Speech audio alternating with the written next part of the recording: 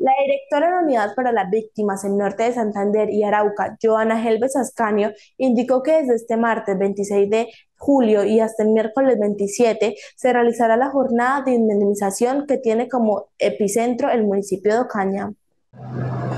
Más de 1.700 millones entrega la entidad, nuestra entidad, la Unidad para las Víctimas, a los municipios del Programa de Desarrollo Territorial,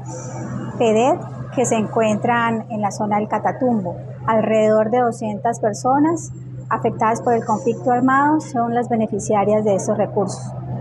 También podemos resaltar que en lo corrido de la vigencia 2022, nuestra entidad ha venido entregando las cartas de indemnización administrativa con unos montos importantes. En la zona del Catatumbo, alrededor de 40 mil millones de pesos, en los municipios de Sardinata, Teorama, San Calixto, Convención, Acarí, El Tarra, que han sido beneficiados de este proceso de reparación individual. De igual manera, en la zona de Ocaña, donde se han entregado a más de 1.900 personas unos giros importantes en indemnizaciones que superan los 15 mil millones de pesos y seguidamente pues la ciudad capital que es la receptora de toda la problemática del Departamento Norte de Santander,